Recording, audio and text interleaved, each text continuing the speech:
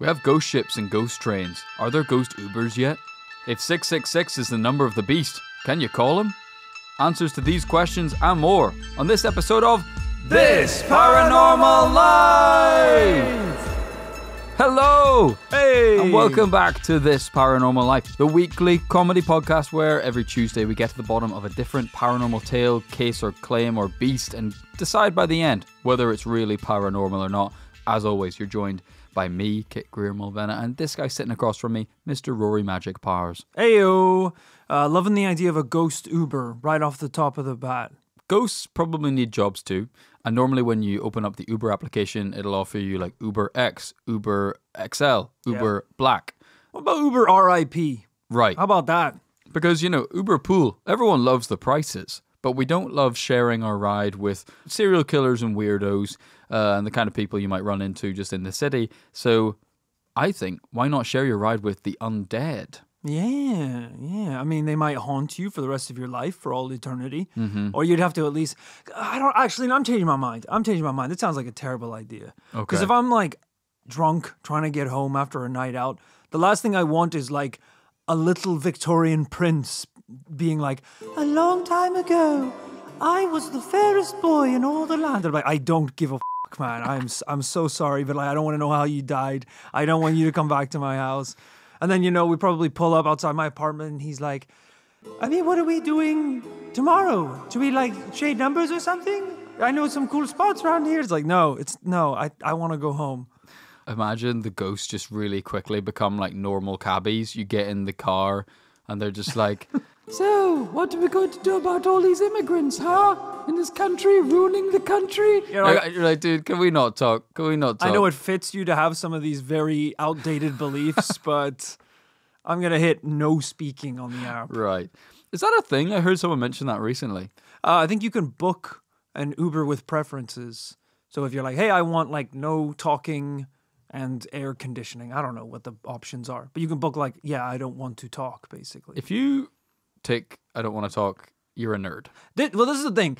Ev- everyone wants. I don't want to talk. Exactly. Everyone wants it, but you can't tick it. You can't tick it. You can't. You just have to hope you get it. It's like you, it's like when you go get your hair cut. No one wants a talker.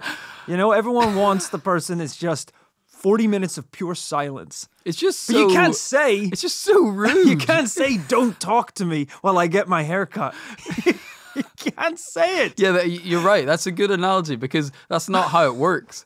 It's it's like no, I'm not some as the hairdresser. I'd be like I'm not some kind of medieval serf who like you know you can just eh, tell me your whims. It's like I need no speaking and I need a hot cup of hot chocolate Right. waiting at the desk waiting for me. It's like you're not a rock star. If if you sit down in a hairdress salon and the person says, "So, do you have any holidays coming up?" and you reply, "Don't talk to me." You're saying that you to better a person. be Bruce Springsteen. They have a blade very close to your neck at all times. So uh, I'd be careful. Yeah, I, I'm not pleased with that development. Uh, I'd be in, if you're a Uber driver and you've been hit with the "Don't talk to me" button. Please let us know what you think. We're of course not here to talk about absolutely any of that. Rory, today's episode takes us somewhere we don't end up quite often enough. Italy. Ah, okay. Ever been? No, actually. What? Yeah, I was just trying to think about it. I think there's a few Holy shit, sound the alarm. We found an American who's never been to Italy. This is fed up. I thought you guys love it over there. That's the poshest you've ever been before in your life. Have you ever been to Italy? I don't think so. Excuse me? You've never had Italiano? Rory, brother, I have to write you an itinerary. I I found the loveliest trattoria, uh, uh, pizzeria in Roma, I must tell you about. When I was young, all right, I, I got about one holiday a year, and it was to Legoland. Okay, well, this Alright. isn't. So no, I've never run with the bulls. I've never seen the northern lights in Antarctica. All right, don't play the. Don't I play the. panned for Lego gold in a Lego river.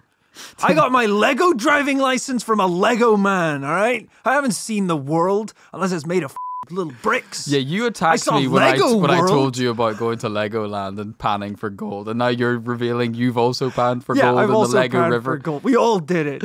Um, all right, don't pull that one on me because you've actually traveled a lot. You you go to America a couple times a year. Well, yeah, You've to see been the family. Japan, Korea, Yeah, many other interesting Yeah. countries. Yeah, And I listened to a Italy's little- very close. I listened to a little K-pop in Hongdae. Sure, and the, the flights are not that expensive, so They're it's not- not that crazy. it's not that crazy, you know. To be fair, I've I've like not spent much time in Italy. It is right there.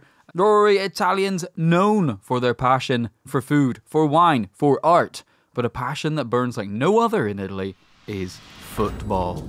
Ah, I see. The beautiful game. It's played, supported, and worshipped from top to toe of the boot shaped nation.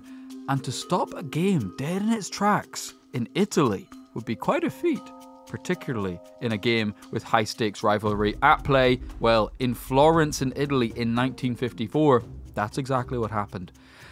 Our investigation today concerns why one of the biggest football matches of the year ground to a halt and how a stadium of 10,000 people fell silent one afternoon. Wow. Rory, are you ready? Let's do it. Okay, it's October 27th, 1954. It's a crisp and clear autumnal day in Tuscany at the Stadio Artemio Franchi in Florence.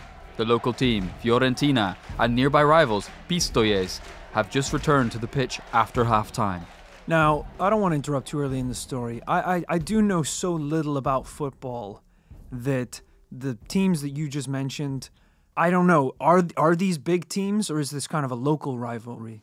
That's right, Rory, and uh, you know it is. I didn't realize that about you, but you know because I don't know anything about football, but I, I think I do know more than you. Whenever we were in Manchester on our tour, you did make some off-color remarks about football. I didn't make off color remarks about football. All I said was is what you're about to say going to get us cancelled? all I said was I don't know the rules to football, but I've heard that it's a lot like strip clubs. It's mostly all guys and you're not allowed to use your hands. Okay, That was right, it. That's all all I said. I didn't make off-color remarks. I simply made a remark in which the color was slightly off. I think uh, the only thing that I think makes that joke okay is probably the one thing that I know less about than football is strip clubs. Right. I know very little about either of them. Well, the good thing is, Rory, you need to know jack shit about football in order to understand what's about to happen. The huge concrete bowl type stadium is packed with 10,000 cheering spectators. The atmosphere is electric, not least because national star Ardico Magnini is on the pitch. Are Deco's there? Magnini had played for Italy in the World Cup just a few months earlier and was a bona fide celebrity. Manini, Manini. please, Manini. Hey, Manini. As the teams run back out of the changing rooms onto the pitch for the second half, the crowd scream and roar back to life. The match resumes and all seems normal. Then, out of the blue, the spectators begin to hush and turn their attention away from the game. Not even the allure of Magnini can keep their heads from turning skyward. Even the players stop what they're doing and look up, and then, unthinkably, the ball rolls to a stop. We actually have proof that this moment took place because the referee report from this day 70 years ago said, quote, play was suspended because spectators saw something in the sky. But what did they see? What was in the sky above the stadium? Our first witness to what happened is Ardico Magnini himself, the national soccer star who everyone was there to see. I remember everything, said Magnini. It was something that looked like an egg that was moving slowly, slowly, slowly. Everyone was looking up. We were astonished. We had never seen anything like it before. We were absolutely shocked. Hmm. Gigi Boni was in the audience that day, and his memory of the events is startling. Quote, It all lasted a couple of minutes. I would like to describe them as being like Cuban cigars. They just reminded me of Cuban cigars in the way they looked. Either one of these dudes has never seen an egg, or one of these dudes has never seen a cigar. Well, that doesn't match up already. Well, you know, Ardico Magnini is smoking cigars on the regular, so so whereas you know Joe Schmuck here in the audience, he probably has never seen a cigar in his life. Yeah, yeah. so He's like, it's like what I would have imagined a cigar to look like. Whereas again, the, the luxurious eggs that Ardico could probably afford, maybe that's what they look like. Imagine a UFO encounter in Britain where the key witness is David Beckham in a Premier League final.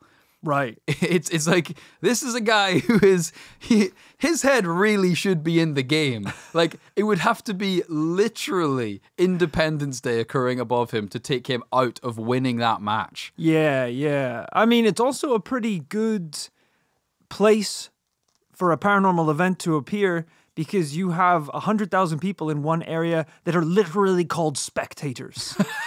right. Well, ten thousand. Yes. it's, it's like it's like having a, a crowd of people and they're officially designated witnesses. Right. Right. It's like Bigfoot turning up to the National Photographers Convention of the year. It's like right? it Yeah. really couldn't be better for evidence. Sasquatch himself turning up to the NRA annual meeting. like you're gonna get got, Bigfoot, this time. Like you say, Rory, a bit of debate already about exactly the shape of these things, but other testimonies confirm the general headlines of the story. A fast moving object or group of objects flew overhead, then paused over the stadium and witnessed by the astonished crowd of 10,000 people. Damn. For Romolo Tucci, another player that day, the explanation was simple. Quote, in those years, everyone was talking about aliens, everyone was talking about UFOs, and we had the experience. We saw them directly for real. Rory, today we're investigating what I think is one of the most remarkable UFO encounters in modern history. So often on this show or in any UFO case investigation, we're scrambling for testimony from more than one person, desperate for cases in which multiple people see the same thing. Well, on October 27th, 1954, there may have been the Holy Grail, a UFO seen by 10,000 people at once. Right. That might be our most amount of witnesses in one spot, just accidentally. Right? I mean, it makes sense. If you're an alien coming down to Earth, just buzzing around, this is a pretty weird thing to see. All they know, this is some sort of gladiatorial arena It could where, be some kind of welcoming party. where Earth's champions are battling it out in front of thousands, you know? they, they, they might have thought it was a landing bay for the UFO. You know, it's like, hey, I didn't think they were expecting us, but there's a big circular bit of grass with Right. basically nothing in it, and a lot of people looking at it. This is uh, what I don't understand. Anytime we hear stories about aliens coming to Earth, it's always about them sucking cows out of a field or finding a farmer in the middle of nowhere and abducting him into the night sky. If aliens are really coming to Earth, they're going to Coachella. Right. They're going to Las Vegas. Even Burning Man, honestly. Because that's the craziest shit you can see from the sky. That's where you're going to end up going. Maybe not Burning Man. I mean, they could go to Burning Man if they want to go somewhere where no one will believe the witnesses, then go to Burning Man. That's a really good point. Yeah. Imagine going to Burning Man and people being like, "Bro, how was it?" It's like, "Dude, I saw an alien." It's like, "I'm sure you, I'm sure you did, Craig. Hey, man, good to see you. Glad you had a good time." No, no, I saw an alien. hey, uh, this is I've talked about it many times. My personal bugbear of the paranormal world or um, movies in particular is the aliens at the White House theory Yeah. if aliens landed down on Earth today, if they had to pick somewhere to go, would they really go to New York City? I don't know, man. Eh, Lagos is way bigger than that. Why would we Right. assume that they would just go to America? That they would somehow look at a graph of all the biggest economies in the world and then go, okay, well, it seems like New York City is a pretty culturally important city. No! if they're going to go to a big city, they're going to Tokyo, they're going to Mexico City, they're going to Lagos, they're going somewhere like that. Uh, Right. and as you say, that's not even to get into the idea that they would go visit some lonely hick on a farm somewhere. Exactly. Unless they're trying to be discreet. Yes. uh, which in this case today seems like they don't give a f- uh, either that or they love football, Italian football. They're like, we got the best goddamn seats in the house. they're like, yo, Ardico! hey, Manini! Manini up here. He can't hear us. Abduct him. Abduct him real quick. That's so funny about a grey sticking his head out of a crowd. Hey, Ardico! yo! Like being a fan, but also being an alien. So he's like fist bumping, being like, hey, I love you, man. You were great. Bend over, though. Bend over. Right? Yeah. Because this is going up, yeah. Yeah, I am still here on work, unfortunately. Got to get on with my shift. So, Imagine you're at that match and you're like, you're like, you know, a little bit restless in your seat. You're like, oh, think I have time to go to the bar? It's like- Right, it's yeah. like, uh, Manini's not on the ball, so I guess you might be all right. It's like, all right, I'm gonna run. You you call me though. Call me though if some if like a penalty happens. It's like, Yeah. yeah, bro, I'll call you. he comes back, everyone's crying. What did I miss? Dude, this is the thing. If you've ever been to a sports game, you know the worst thing that can possibly happen is you go to the bathroom and then you hear, oh! And then you come running out because you missed it. You missed the big play. It's just the law of the universe. You If jumped when you heard it. You just pissed all over yourself. You're like, ah, god damn it. usually it's a home run or a touchdown or the big goal that ties the game. It's going to be really bad if you come back from the bathroom after hearing the big roar and you're like, What happened? What happened? It's like, Oh, you just missed it, man. It was a craft from another universe came down. It's like, What?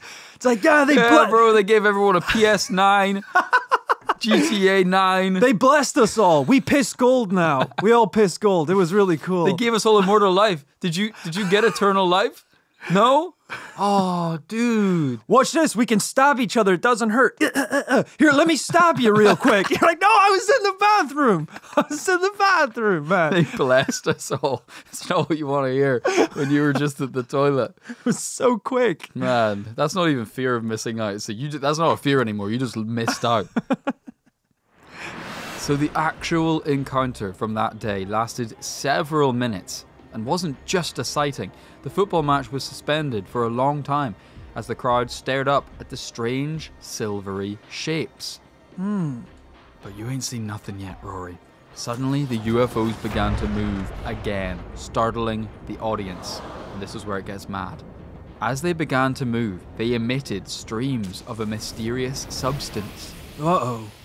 A white, cottony, fibrous material, some described as angel hair, floated down into the stadium and across the surrounding areas. Don't like that. The filament like matter covered buildings and vegetation all around. People reached to touch it, but for the most part, this angel hair disintegrated immediately when touched. But crucially, some small samples were later obtained. Local journalist Giorgio Battini instinctively knew this was important evidence and carefully collected samples by rolling the fibers onto a matchstick and then sealing the matchsticks in test tubes. Battini sent these delicate specimens off for chemical analysis at the University of Florence, the results of which we'll look at later. Hmm. Rory, what are you doing in this situation? Well, here's my problem is, you know, if you've been to a big sports game in a stadium or an arena, you do end up seeing a lot of strange stuff. Uh huh. There are mascots at these games. Some of them are literally aliens running around the field. Well, they're not literally aliens, they are literally in costumes of aliens. I went to a sports game once where they shot t-shirts out of a gun. Right. You know, you see some strange technology, Stuff that exists nowhere else. right? Yeah. and wa- was that a military test? Who knows? I was at an ice hockey game once where they used a cannon to fire Subway sandwiches into the crowd. That's disgusting.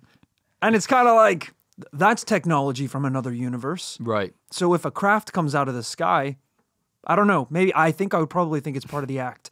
I saw a beer that was twice the size of a normal beer, if you can believe it. and it disappeared in front of me. If you catch my drift. And I don't remember anything from the second half of the my match. memory was wiped. I was found in a bush the next morning. Now I am saying this is that's a lot of my experiences in today's world.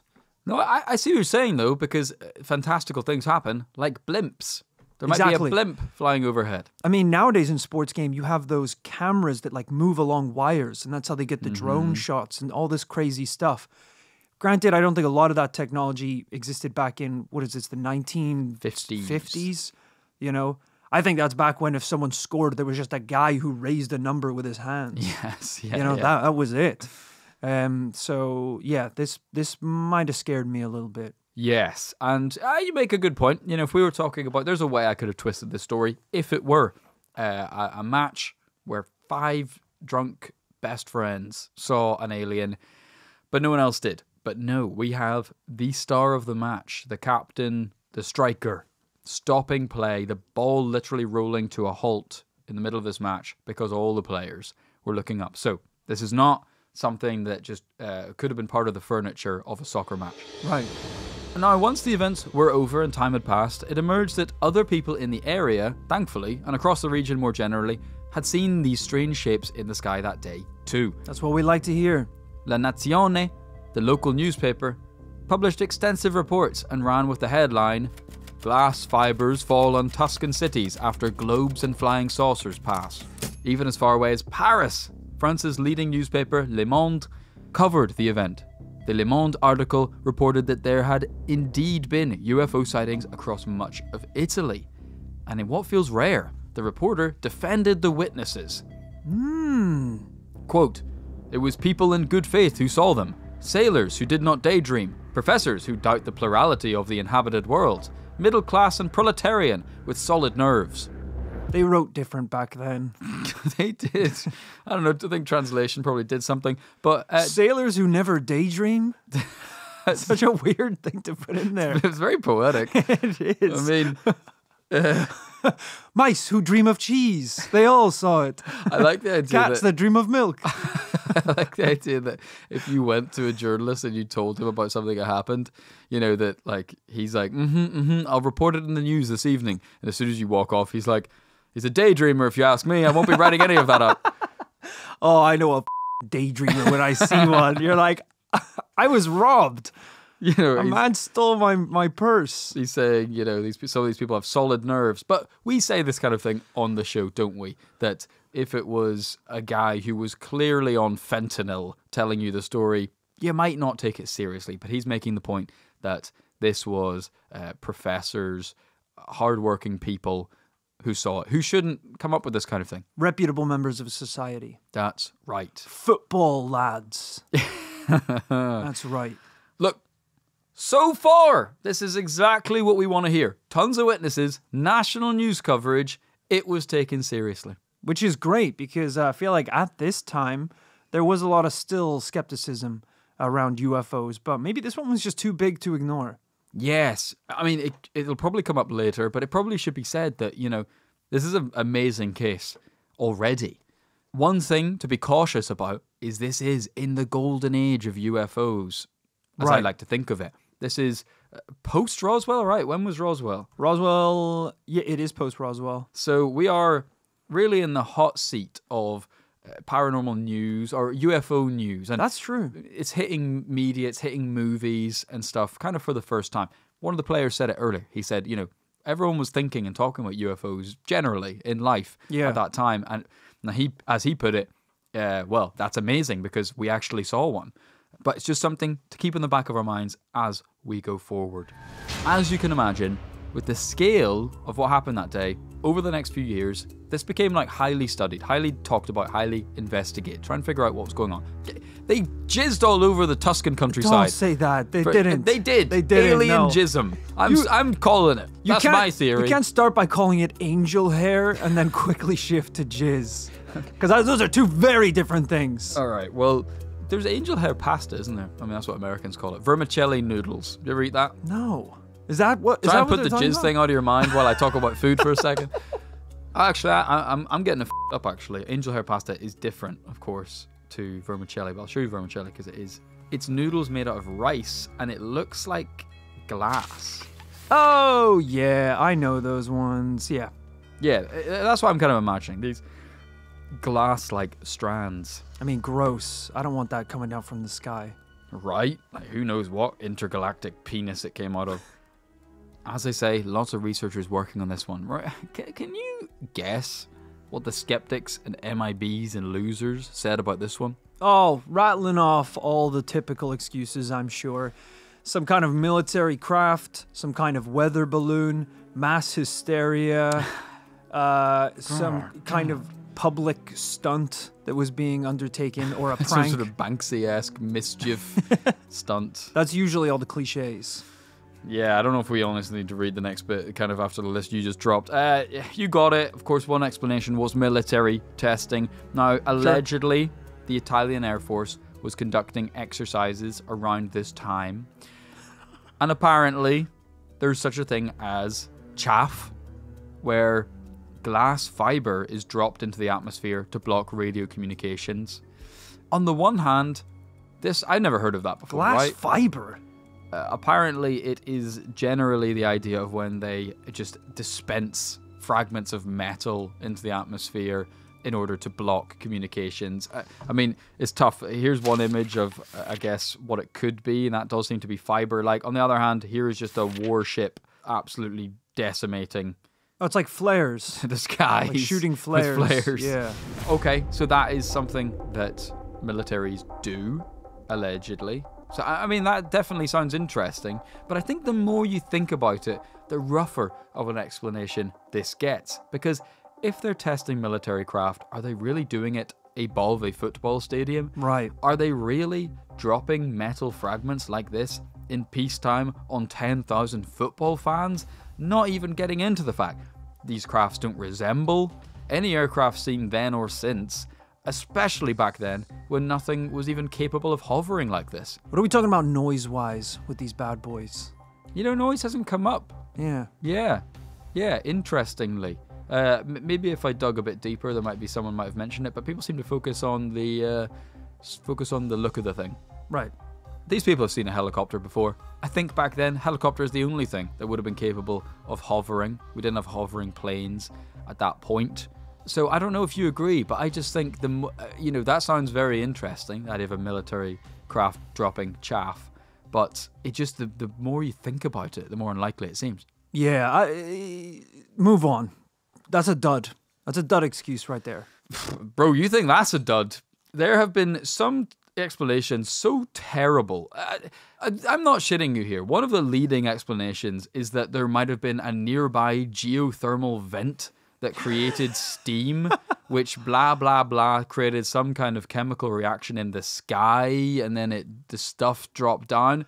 But it, the confidence of some geologist nerd to suggest that, as if that ex- explains the in crafts flying overhead. It's like it wasn't steam, bro. It's like I understand you spent a lot of time in your career working on like understanding the earth. Not everything's steam though. They Like must think we're a bunch of daydreamers. Let me tell you, if they think we're buy, buying that crock of shit, I think you, your blood pressure's about to hit the roof when you hear this next one. What is what is the most commonly accepted, most popular theory for what happened that day? I'm getting ready to just throw a punch, and I don't know where it's gonna land. The most popular explanation for what happened in Florence is the migrating spider theory. Oh, come on! Jesus Christ. So apparently spiders can, quote, balloon. This is where they shoot webs. To what size? to what size? Quelaag? The Spider Woman? How could this have been a bug? I'm not a scientist, but how could it have been a bug? I don't mean one bug. You gotta let me finish. The only bug that size almost ate Frodo and the ring whole. There's no way this was a bug. Fucking Shelob. Shelob's lair. this is It's insane. like a, a guy at a military press conference like, listen, what's more believable? That Shelob from Mordor came to Florence or aliens are real, guys? I mean, let's be honest. That would tip me over the edge. If I saw a UFO and a and a member of the U.S. military looked me dead in the eyes and said it was a ladybug, I'd be like, "I'm a joke to you, aren't I? You know there's nothing I can do." Why even open your Yeah. mouth at that point? Why even a- say It was a caterpillar. They're all like sniggering and laughing. It's like, and who's gonna believe you over us, huh? You know, you know what that is? That is. i- you remember in Star Wars when Obi Wan Kenobi would use the Jedi mind tricks? Right. would do. I'm doing on the video podcast. I'm doing this motion. You wave your You know, these are not the droids you are looking for. Right. And then they're like, these aren't the droids we're looking for. Let them go. The idea being that as a Jedi, you have this power to kind of just hypnotize someone and make them believe anything. Yeah. Really. I think they have to be weak-minded. Yes. I think that's the. Well, even more apt because that's what this is. When when an MIB looks you in the eyes and says it was a ladybug, their dream is that you nod like in Star Wars and say it was, It was a, a ladybug. ladybug. Yeah. They want you to buy the official explanation. Yeah, you don't think it was a UFO. Well, I don't know. Think if it was a UFO. You know, you they kind of yeah use the, their little tricks on you. You know, that's why we need to stand up. We need to say, no, a spider cannot be the size of a plane. That's just science. The point is, the spider isn't the size of a plane. What these spiders do is they shoot webs into the air, Sure. and then the wind catches the web, and the spiders can now fly. Impressively, these have been spotted thousands of feet in the air because they just have to go where the wind takes them. So the idea being that if you have a mass migration, as happens, of insects, of tens of thousands or millions of insects, and they're all, well, they're not insects, are they? They're arachnids, shooting webs into the sky, that you could have uh, a situation where just a, a sky full of spider webs falls down on people and they're all wondering what this angel hair is. But the but the spiders all join together. They all join together and create some like a rat king. just become a ball of spider. this is the problem. I don't know why between these geologist nerds and these spider nerds, why no one is addressing the an elephant in the room, which is the UFOs. Maybe what the reason why they're focusing on this is they're saying, "Hey, look, we don't have any evidence that the craft was there. Yeah, ten thousand people told us there was a craft. What we have evidence of is angel hair." so we're trying to explain the angel hair, Right. You know, and, and so because maybe you know what these guys are like. Maybe they're like, you know, if we could explain the age- angel hair, then maybe maybe the craft was just a trick of the mind. Maybe everyone just hallucinated it. Yeah, yeah. I, I don't know if this is gonna help our case Go on. or make it worse. But this actually happened to me. All right, I saw bro, this. Are you about to blow up my story right now? Uh, no, I, I could be I could be about to make your story uh, even more credible. Okay. Well, keep talking, and then based on whether it helps me or not, I will potentially uh, include it. Bizarrely enough, what I'm about to say took place in the very same baseball park in Dublin where I saw the Gorilla Man. this this was years later, one summer down there. Th- this is I like can't believe you went back, by the way. This is like Ireland's Bridgewater Triangle. This is apparently just where every paranormal entity hangs out. Uh, I was there playing baseball, and whatever season it was, whatever part of the year it was, mid game, it started raining spiders. what the f- are you talking about? Raining How are you down bringing this from up the now? high. I, we've never talked about it before. It's- The, the fact of spider rain has never come up on the podcast before. I'm talking like, I'm talking so many spiders that you would be in the batter's box waiting for the pitch, wearing your helmet, and they are dangling from the hood. It's like that f- scene in Indiana Jones, you know, when he's like had to reach through the hole. It's just bu- thousands of bugs. It, I, I'm not even joking. It was whatever happened. Now, this was in a super foresty area, you know, a massive park in Dublin. I thought it was a baseball field. Well, there's ba- the this- baseball field's what in the park. Strange thing. But the only thing place. strange about it is like around the field is just nothing. It's just open air. Yeah. that you, there, you you have to walk for like five ten minutes to hit the tree line, and then out of nowhere, hundreds of thousands of spiders out of the sky. Tiny little ones, tiny tiny little Yeah, I ones. know the type. But um, but there there were spiders and there were webs. Uh, so I'm saying this could help your case because I kind of experienced the phenomenon that they're claiming was Right. the UFO. And let me tell you, brother, it didn't look anything like a UFO. Right? So I don't know if I believe this explanation. That is interesting. Spider rain. This is why I gave up my career in baseball.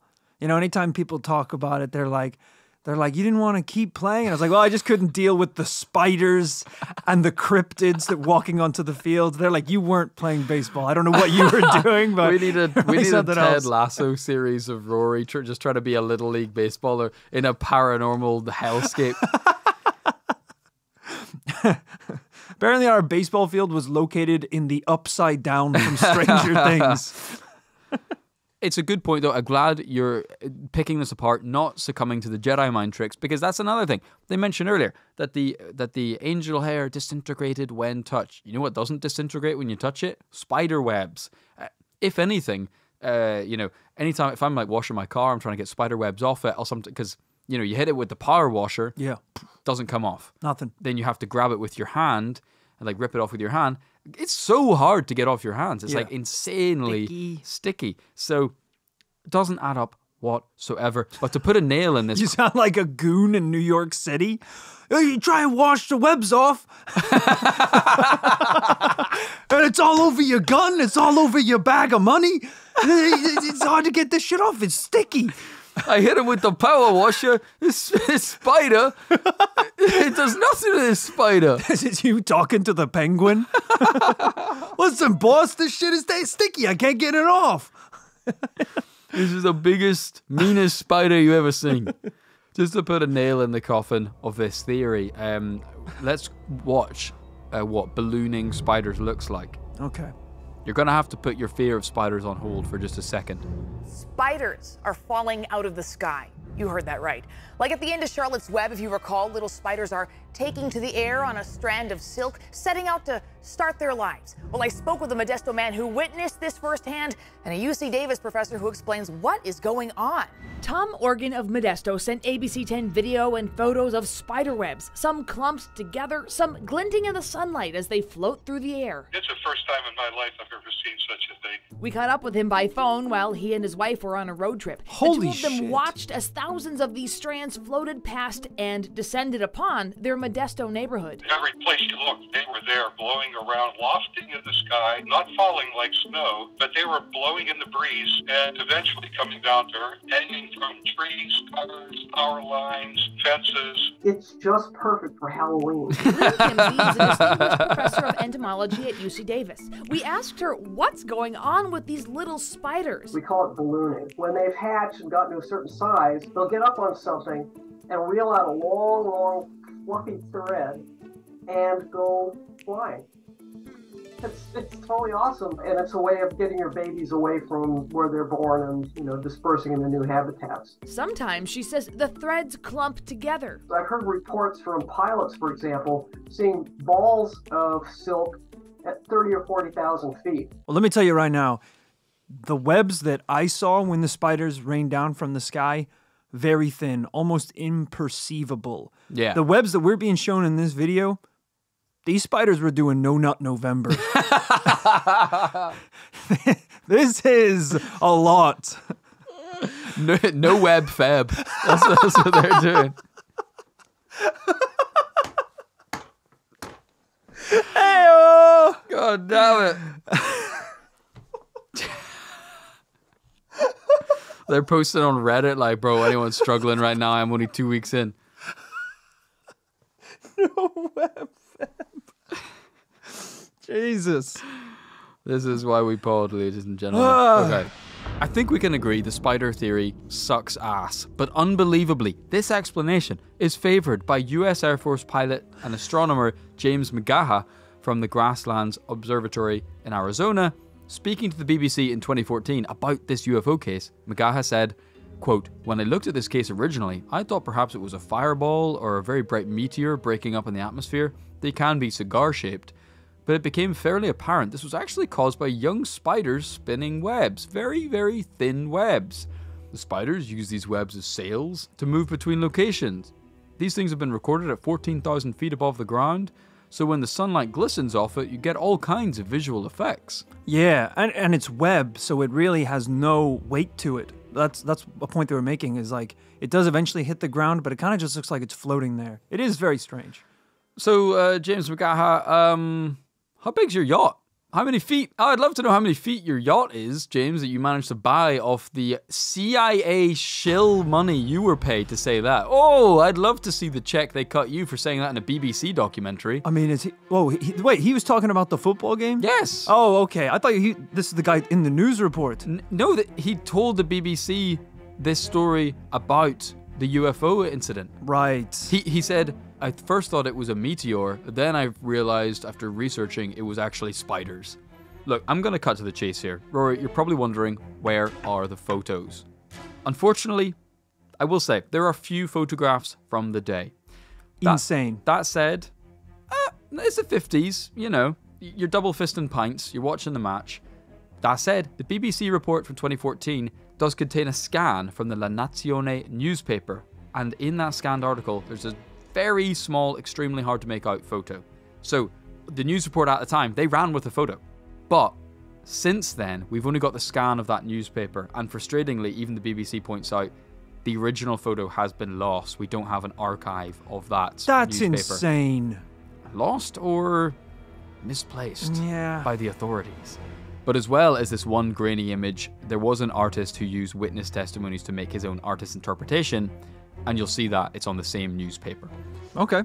I'll show you that newspaper right now. Here is the scan of the newspaper, and it has multiple images on it. I think these may be the two photos that they have of the craft. This appears to be the test tube with a sample taken on the day. Uh, and I appreciate these are small, these are grainy, these are not high resolution images, but underneath we have the artist's interpretation, which was put together based on those witness testimonies. I can't say I'm not a little disappointed. You know, we've done such a big job of making sure everyone knows how many people were at this game. The fact that it is a probably locally televised sports event, there will be cameras everywhere in this place. Hmm. And the picture that we have for the newspaper is a black dot. It's a black dot. It's a it's not a black dot. I don't want anyone to say it's a dot. One of the photos is a dot. It's a white dot. But one of the photos is and hey, I'll give it to them. If an egg f***ed a sh- cigar, that's what the baby would look like. That is that is in between an egg and a cigar. I don't know, man. You must be smoking a stumpy little cigar if you think that's what they look like. Well, it's not a cigar. It's it's but it's longer than an egg. True. It, it looks like an American football, which maybe in Right, right. 1950s. These, these Italians had never seen Yeah. an American football before. But it is it's an oval shape. It's a black oval shape in the sky. uh, yeah, not getting a lot from it other than that because it looks like the picture was taken right up at the sky. So it's just complete nothingness and this black shape. Yes, we don't have a sense of scale, but what we do know is ah, well, we don't know, but I would guess that uh, Rory, you're a filmmaker, photographer type guy. Uh, I would guess that we are not using any kind of telephoto lens here. I would imagine this is a bit like pointing your iPhone up at the sky. That is why we're dealing with something quite small. This is in the sky. It's definitely not Independence Day style, hovering just above the stadium. It is in the sky, and that's why it's small because we don't. We probably just have a regular kind of wide lens on this camera. Yeah. As I said, not exactly the uh, the convincing evidence I was hoping for. D- it- it- sure, it could be a craft in the sky. It could be a photograph of a peanut on a wooden table. Yeah, Well, yes, uh, as we teed up, It's literally- sadly the original photo has been lost or was misplaced? Uh, but Rory, how many UFO cases have we done where we've been scratching around in the dirt for uh, the sign that even a craft had landed at all somewhere? And here we've got a photo of the thing, ten thousand people witnessing it, and right there, the guy's holding a test tube with the substance in it. I just want to know how widespread and available cameras were at this time. Did people have cameras in the, what do we say, 1950s? Yeah, mid fifties. I mean, I, I think at that point probably was still pretty rare. No, I'm also kind of wrong. I mean, in the 1950s, Canon cameras were already on the market available to the public. Probably expensive. I, I, I think we got out of this event what you would expect, which is that the average punter watching the match didn't have a point and shoot camera in their pocket, but the couple of journalists who were there reporting on the match or whatever probably did have a camera. Yeah, but I'm just, uh, I'm, I'm disappointed that it doesn't look better than this, you know? Unbelievable. You hand someone a. You piss gold in someone's lap and they, they don't even know what they're dealing with. Yeah, that's right. I was blessed by the craft. You hand someone a picture of a peanut taken on a Game Boy camera, and they're not convinced it's a real UFO. Yeah, do, do you know what? You're right, Rory. Maybe I've gotten a little. Um, I need a little refresher on kind of the quality of evidence in UFO cases. Um, could you just pull up the photos for the Shag Harbor investigation? All right, watch it. You're on thin ice, motherfucker. Because for such a big case, like there, there must have been some photos, right? Like, because because this, you're right. This is pretty paltry. So uh, yeah, Yeah. let's let's just pull up the Shag Harbor photo. Oh wait, I'm I'm googling it and nothing's coming up. The craft in our Shag Harbor case, as you know, Kit, sunk to the bottom of the harbor. oh, It hit the waters and sunk. oh, that's cool. So the diver could go down and just photograph it. The divers did go down, and they found nothing. Remember? Nothing. yeah, that's pretty. No barnacles, no rocks, no seaweed. It had been swept clean. You know?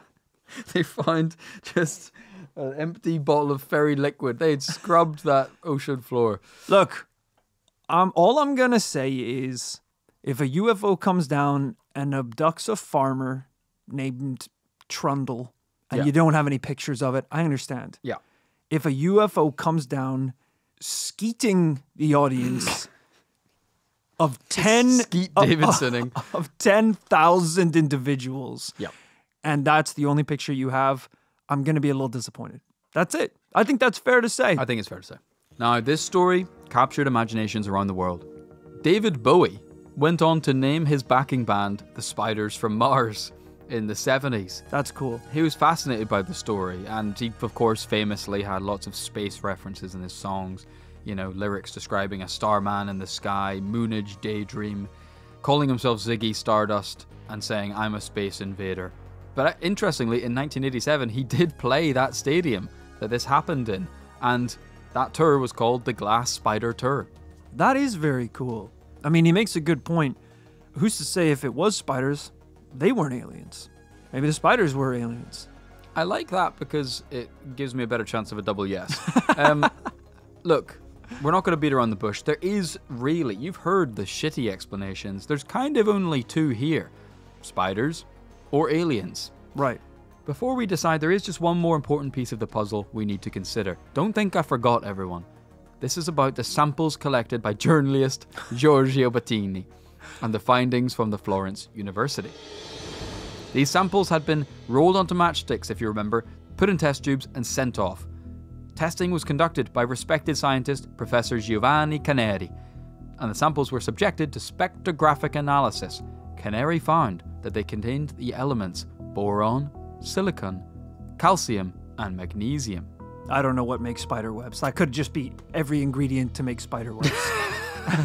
I'm like, fascinating, fascinating. You're like, I don't know what the f- any of that is. Magnesium, you say? Interesting. The elemental makeup of the samples is vital to telling us what is in the angel hair. Whilst the testing couldn't tell us exactly what the substance was, it does tell us what it's not. Even in the BBC investigation in 2014, they said spider silk is a protein, an organic compound containing nitrogen, calcium, hydrogen, and oxygen, not the elements reportedly found in the samples of angel hair brought to the university.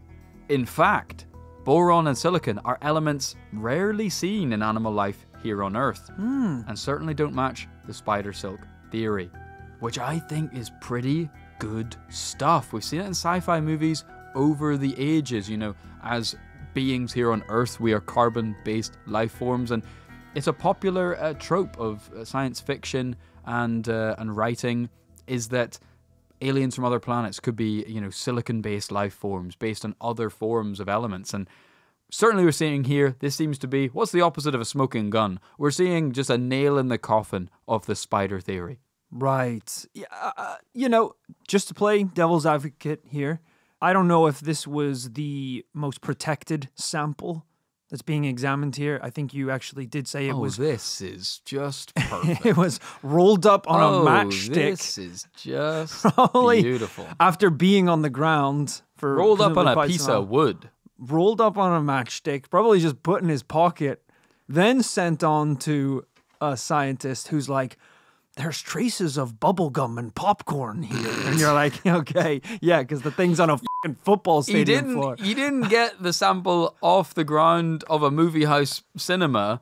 He got it off the ground, where you know matchsticks, famously containing boron and silicon. You're like, I think these these creatures, whatever they are, they have a genetic makeup that consists of Stella Artois. You're like, "All right, I think some of the football field got uh, wrapped up in that one. Again, this is this is why this case is at the next level. The next level. The what? the next level Okay. of evidence is because we have spectrographic analysis of as I say, we're so often trying to get just a little littlest piece of physical evidence. Not only do we have evidence, but it was taken to a university and studied to find out its chemical compounds. And then we find out that the compounds are those rarely seen on life here on Earth. Like I said earlier, the people that day were not torn as to what had happened. As witness Gigi Boney said, I think they were extraterrestrial. That's what I believe, and there's no other explanation I can give myself. Rory, we have gone through every possible angle and detail of the 1954 Florence UFO case. What are you thinking today? I don't know, man. I don't know. This is a weird one. This is a very strange. We've one. got him on the ropes, ladies and gentlemen. If we just keep pushing, if we can beat Rory down across the ropes, because it's we've almost uh, got him knocked out. because it's you think about the the webs and stuff, and you're like, okay, so the spider webs that came down, they're saying it wasn't spider. It couldn't have been spiders because it's the genetic makeup is different from what goes into a spider web. So you couldn't have been spiders. But then all the people that are saying it are also like, well, it definitely wasn't spiders because it was an egg floating in the sky. It was an orb, and you're like, okay, so yeah, there, I forgot there's another level to this. Yes. is that it wasn't spiders? Apparently, it was a fucking hovering cigar made of concrete in the sky. Yeah, I'm- it's almost like two different levels to believe here. You know, you would almost say it's a next level.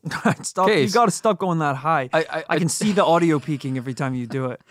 Uh, it is true. You Look, look I, I'm not just blowing wind up this case because I'm hosting it, and of course, part of the fun of this paranormal life is I'm trying to convince you of something. I do genuinely think that this is quite a unique one because normally in a UFO case we would see one segment of this. We would see either the sighting, or the spider web, or just the multiple witnesses, or whatever component that went into this to make it interesting, or the fact that you know the person, one of the key witnesses, was so famous, or an entire football team of famous footballers. Yeah, But here we weirdly have all of it. We have not just a compelling sighting that, that isn't ridiculous. It's not a flying saucer.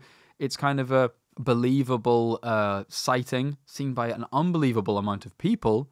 And then for physical evidence to actually be taken and a photo, even if it's a bit shit, yeah. uh, we kind of have a royal flush. All right. I think we know where Kit's coming down on today's episode. We kind of had an unbeatable hand of cards. And anyone who says otherwise doesn't believe in the rules of the game. Uh, it's just a photo that's that's bumming me out. I'll tell you, I'll tell you know? what unnerves me actually was I got a bit thrown by the military testing and this concept of them dropping chaff, uh, Yeah. dropping this stuff because that that threw me a little bit. I was like, oh, so you're saying this the military do a thing where they drop fibers? That's a bit that's a bit unusual. Uh, but then again, you know, uh, apparently, apparently it's not the same kinds of materials. And look, the point stands that th- this kind of craft is not uh, should not have been available at the time. I think, as I said it, it's the it's just the picture. It's the fact that you can't. It's a bit of a double-edged sword having a situation where there's this many people in one area. You can't tell me that because the, that you Rory would have been happy if I had if there had been no picture. If I told him, oh, everyone was busy that day. if it was no in the if it was in like the 19 I don't know 30s or 20s and there was no picture, then I'd like I'd kind of get it at least because it's like oh well, there are a ton of witnesses, but this was the super olden days, so there wasn't even a camera available to take pictures. There were cameras in the 50s. There was cameras. Odds are Not in- many. in, a crowd of a hundred What do you thousand people. We got the photo. It's uh, that, come on now. What Come kind? on what kind of what kind of cameras do you think were available then? You got to see this picture, ladies and what gentlemen. kind of got- what kind of photo did you expect from a from one of the earliest consumer cameras available in Italy? I don't know. There's like pretty clear videos from World War II where you can see very accurate things. Yo, because they Like- were right in front of their fucking face. The photo, the photos. So was the of orb. So was the cigar. the photos of planes weren't that clear in the sky. Ah, I don't know. I don't. I Right, we're, we're beating around the Yeah. bush. We gotta come down on a yes or no every episode of this paranormal life. I can clear, man. This is this is a hot one. We're coming in hot. Rory, what are you saying today? Is it a yes or a no? I got my hands up guarding my face. I'm too scared Kit's gonna throw a punch. It's gonna be a no from me this Oh week. my god! Oh my god! Ladies and gentlemen, I think we have just wit- ladies and gentlemen, I think we have just witnessed something very interesting. Move away from the microphone. How big's your yacht? How big's your yacht, bud? Huh? Oh, You got a pension plan I don't know about? This is A little CIA pension plan. it's plan. way too early in the year to start the second ever this paranormal life civil war. Oh, it's back on. We brother. just got over the Oh, it's first back- one. we- there had just been a peace treaty. I'm ripping it up. I'm ripping it up to a million pieces. This is this is my Shag Harbor. At least wait until no web feb for the civil war because we're gonna there's gonna be some pent up aggression during that month anyway. So Hey, I'm not going to get bogged down. I'm just going to say that this is a line in the sand. This is disgusting. this is I totally line in the sand, in the hashtag stop the count. Uh, and yeah, uh, obviously it's a yes from me because it's one of the most compelling, fantastical uh, UFO cases in this paranormal life history. This one has to go out to the audience. We're going to throw up the Twitter Wow. poll. We're going to throw it out um, anywhere we can. Throw it on the Instagram stories, polls. See what you guys are thinking. Um, I think Spotify these days asks our listeners on Spotify what they think of the episode. So if you get thrown in the Q and A poll, let them know what you think. Yeah. that is Rory. This is interesting because we may have some uh, because we we flipped. We've passed. Yeah. We've changed sides in this situation. So maybe there'll be some people who was on my side for Shag Harbor who are now like, I'm sorry, Rory, I'm with Kit. Right, there could be a believers and skeptics thing in general. If anything, what we've done is just show you how impartial we are, you know? right, right. Which I think is a good thing. you know, uh, one thing I forgot to bring up earlier, but I do want to just tag on uh, and not not expand upon. But I just thought it was kind of cool. I just wanted to mention the fact that this is a very rare sighting of a cigar-shaped craft. I knew that this tickled something in my brain about uh, had we heard of cigar-shaped UFOs before, um, but uh, you know we looked and looked and couldn't really come up with anything. And then we remembered where it was from, which was in 2018, I think, or thereabouts, quite a few years ago now. Yeah. Uh, first discovered in 2017 and written about in 2017 2018. There was an object discovered in the sky, first thought to be a meteor or an asteroid, that came to be known as Oumuamua, Hawaiian for messenger that reaches from out in the distant past. Whoa! But this was the original cigar shaped object. That headline was everywhere. Cigar shaped object spotted in the sky. It was studied a lot because researchers, really serious researchers, didn't know if it was a UFO or not. Yeah, I, I believe the argument was things in space don't look like this. Yes. You know, I, I know very little about the universe, but how it works, how science works, how physics work, is that uh, objects this shape aren't crafted naturally. Right. This long, you know, something like this could only exist through collision or some freak accident where things are smashed together, because this is this is not organic looking. Exactly. Um, and so, kind of speculation became wild about whether it was um, a UFO, a craft, whether it was some kind of, you know, new shape that we hadn't seen before for a meteor or asteroid, or whether it was, as is purported here, you know, allegedly here CNN uh, news they're pointing out that a, a paper that came out of Harvard University argued that it may have been an alien probe, some kind of drone being sent to investigate another galaxy, which Right. of course we do over here, which is pretty compelling stuff. I mean, I know that at Florence the thing got a little more up close and personal than this, but um, I just thought it was a cool little tidbit about cigar-shaped UFOs It is. It is. Guys, if you enjoyed this one and maybe you can't get enough, maybe you're you're you've you've got a little bit of an hors d'oeuvre, you've got a, a taste, you've your appetite has been whetted for UFOs. Head on over to patreon.com forward slash this paranormal life to access a treasure trove of investigations we've done over the years. We're talking 60, 70 full length bonus episodes, 80 plus after parties, which are behind the scenes weekly looks at the world of TPL, as well as a bunch of other cool rewards. Oh yeah, and you're gonna want to head over to the merch store uh, because the No Web Feb shirts are gonna be there. We're gonna make sure of it. That is too good of a phrase to throw away. Uh, so check it out. Get them in time for No Web Feb and celebrate with your buddies. We so appreciate all the support that is given to us and has been given over the years uh, on Patreon and everywhere. Um, it makes the show possible. Um, but, you know, hey, we've been podcast fans for the longest time. Hasn't always suited us to support shows financially. So, um, a great way to support the show if you don't feel like heading over to Patreon, is to just give us a, a review on Spotify or on Apple Podcasts. It goes a massive, massive way to letting other people hear about the show. So if you've enjoyed it, hit that five stars. Let us know what you think. Uh, we do actually get sent those comments that people make about our show, and they warm our little hearts uh, when we read them. Or stab us like a dagger. Yeah, well, yeah, if they're bad. We get yeah. one a week, and it basically makes or breaks how I feel about for the next seven days. Yeah, we get the report to see how we're doing. Sometimes I'm so fragile I can't even open the email. I'm like, I not not this week, not this week. I can't do it. I'll click on it and it'll be like four stars, and I'm like, "Fucking, I'm gonna have a breakdown. I can't handle this. Yeah, 4.9. Oh, that stings. Guys, we hope you're having a fantastic 2024 so far. We know we are excited to have, have wrapped an, a bumper year in the world of TPL and to be entering another one. We have so many great investigations planned for you. Any words for the for the listeners, Rory? Uh, only a couple, Kit, and that's to live fast, investigate, and die